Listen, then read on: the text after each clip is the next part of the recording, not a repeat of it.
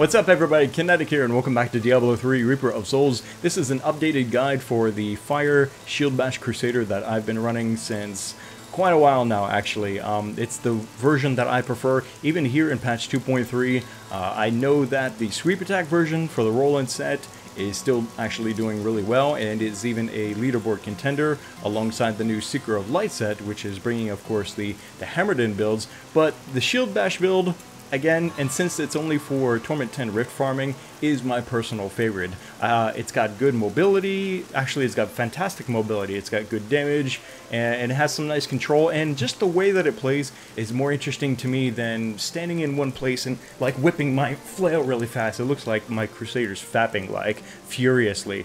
Anyway, let's go over the set bonuses, right? The, the Roland set has uh, some really nice stuff for both Shield Bash and Sweep Attack, and that's why we're able to get like two different builds out of one set, which is really cool. But I'll just go over what it does for Shield Bash, so as not to confuse you.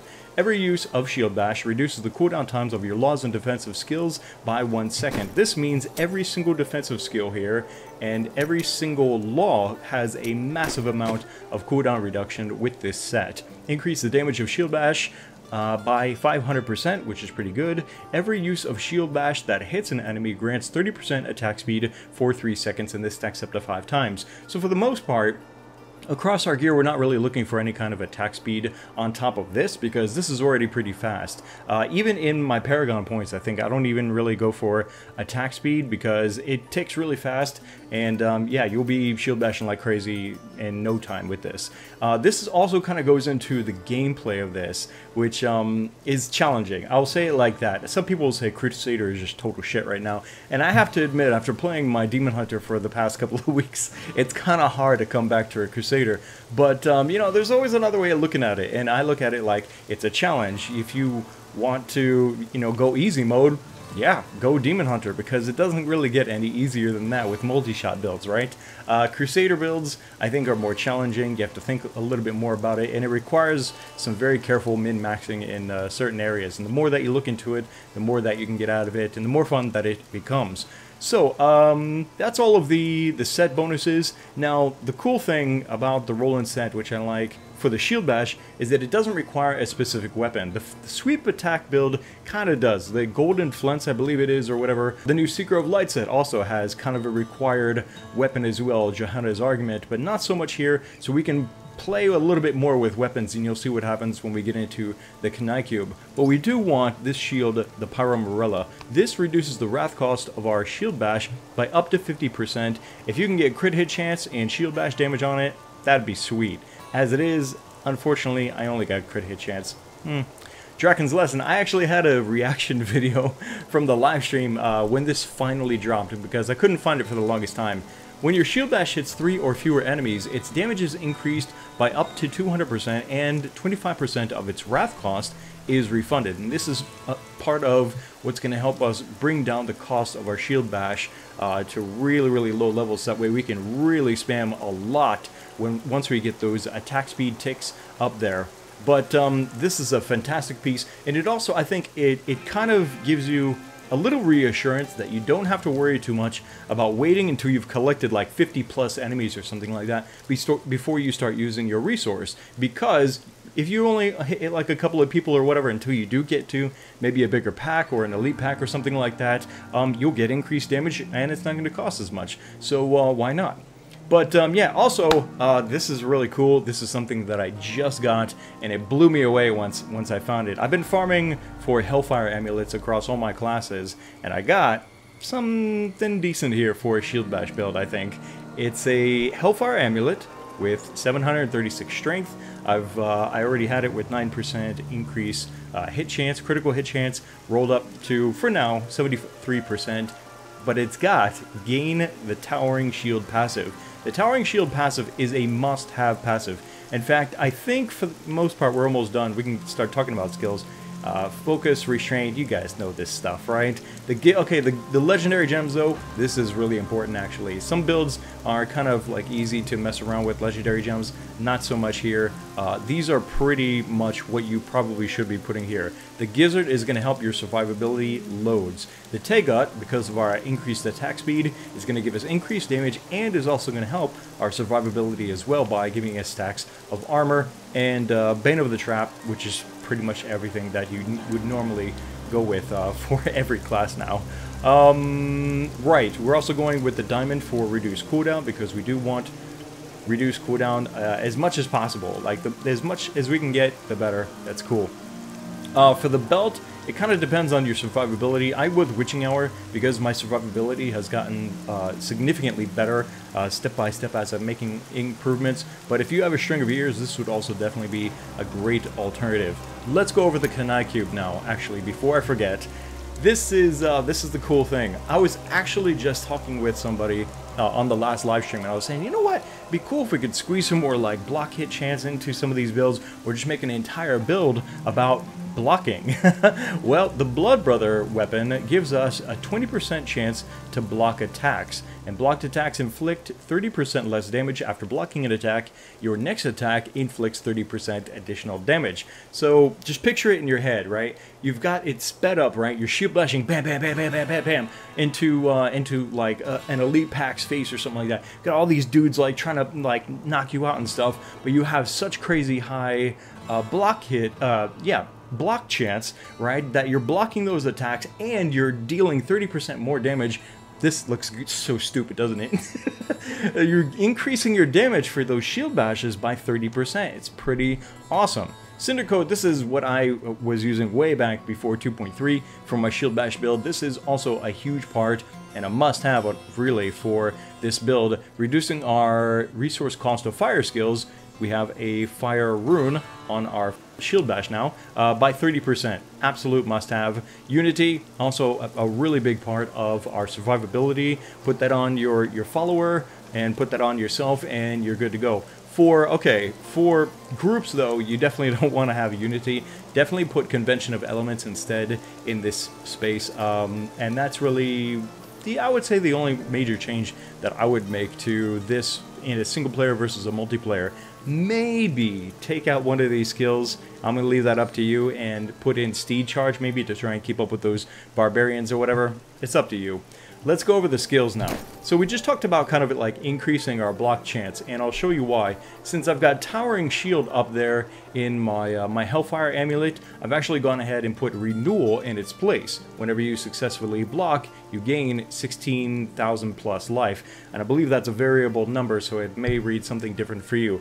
This is, since I have that, uh, in my amulet, this is definitely what I'm going to put here. If I didn't have that, if I didn't have a Hellfire amulet, for example, I would probably have, I don't know, either Frozen or an anti-poison. Anti-frozen or anti-poison is probably the, the, some of the two deadliest, I think, uh, for Crusaders, right?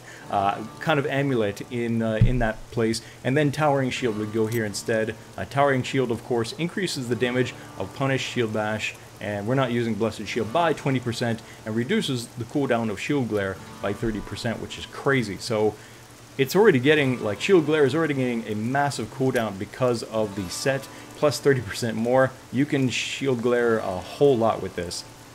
Anyway, going back into uh, going back into the passives, I guess, the Indestructible, Finery because we have all these gems, and of course, Heavenly Strength. Nice thing about Crusader is they also have skills that they can go about with uh, to further increase their block chance. So we have Punish with Roar, which also has Fire as its element, which is great because we are dealing additional fire damage, especially through our bracers, right? But strike your enemy for 335 weapon damage as Fire and gain Hardened Senses, which is basically a buff that you'll see here that will tick uh, increasing your block chance by 15% for 5 seconds. This is also, of course, going to be half of our requirement for focus and restraint.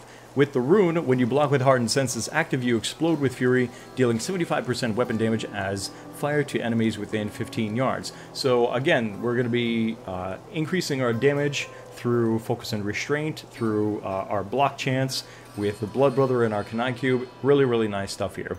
Shield Bash with Crumble. Unfortunately, Crumble is the only fire rune. I really wish there were more fire runes. Something that, for example, would deal more damage around our Crusader because as it is, this is, I want to say it's like maybe like a 45 degree angle in front of us or something like that. It, so you, I, um, I, don't know. I don't know how I feel about it sometimes. Like sometimes I, I, I, like it the way it is, and other times I wish it would like just explode all around me with uh, these crumbles in all directions around the Crusader.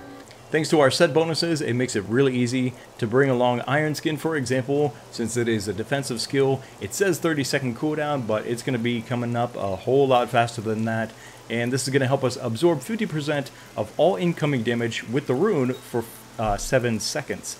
The utility, Provoke Hit Me, this is a, a, really nice skill that doesn't just generate Wrath, right? This isn't just about generating Wrath, it also taunts all enemies, which helps you protect party members, for example, and with the Hit Me rune, gain 50% increased block chance for 4 seconds after provoke. Nice stuff. Uh, Shield Glare, again, this isn't just about the, uh, the Wrath generation. This also interrupts a lot of uh, enemies that uh, are trying to maybe do some kind of a mega hit or something like that. I use this all the time, for example, to interrupt Rift Guardians, to stop them from whatever it is that they're trying to cast or whatever. You can see it like coming from just regular minions to Rift Guardians. A lot of them have like a wind up animation before they, they drop the hammer on your ass. You can interrupt that with Shield Glare, and I love doing that. This is also, of course, going to help you proc your Bane of the Trapped, increase damage there.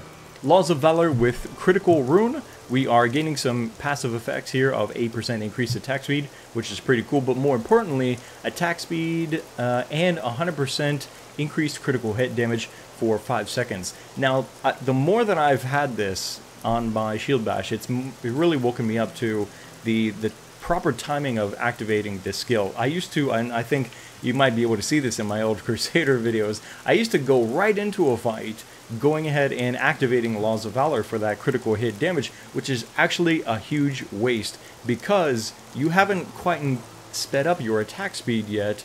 Uh, so you'll just be like, bam, bam, or something like that. So you might get a couple of hits in with Shield Bash before the law finishes off, but instead, what I do now is I wait until I've got the set bonuses increasing my attack speed. So I'll do like two, three, four hits or something like that, and then I'll activate the law because by then my attack speed is sped up so much more I can get easily two or three times more hits while this critical effect is increasing through the laws of valor.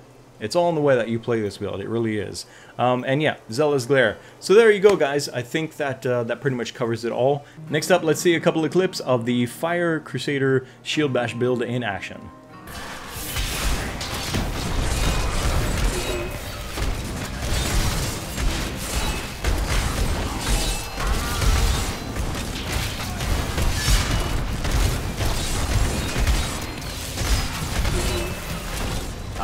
Longer.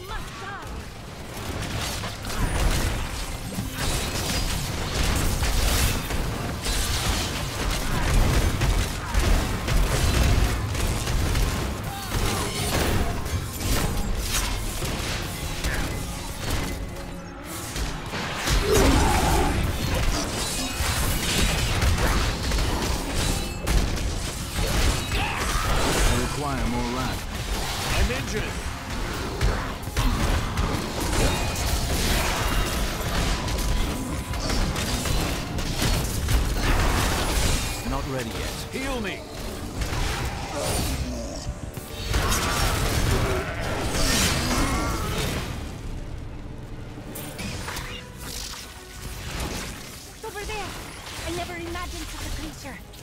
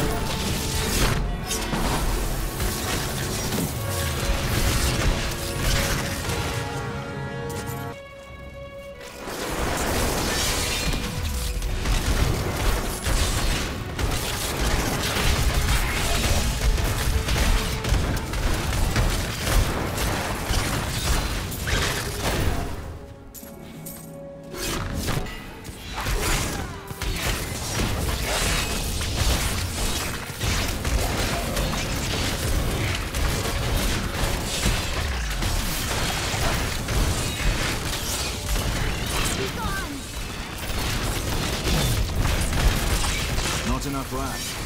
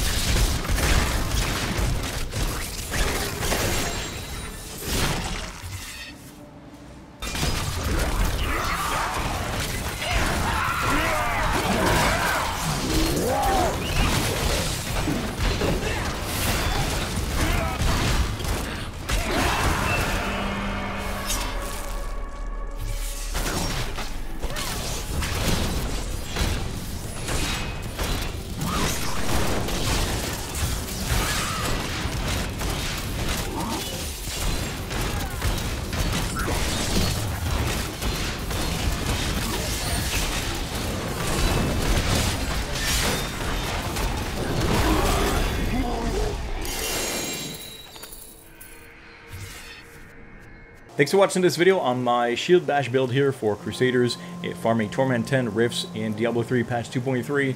Again, uh, it's a, a, matter of personal preference. Uh, my choice is to play a, uh, a, Shield Bash build. I think it's more fun than playing the sweep builds. I think it also fits better, especially with group play, doing a Shield Bash build rather than a Hammerdin build because of the way that mobility is such a huge factor, I think, oftentimes in uh, multiplayer games. Usually the speed at which people are moving is so fast, like, unless you're uh, way ahead of everybody, maybe using Steed Charge or something like that, and going ahead and you start charging up your hammers or whatever, I don't think that Hammerdin is really going to be the build that you're going to see very many people using in, um, in multiplayer rifts. If you have any questions or comments about Crusaders or this build in general, let me know down in the comments section below. Click the like button to support these Crusader and other Diablo 3 videos here on the channel. I've got more builds for farming, for greater rifts, all sorts of things coming up in the very near future. So make sure you subscribe so you don't miss the next video.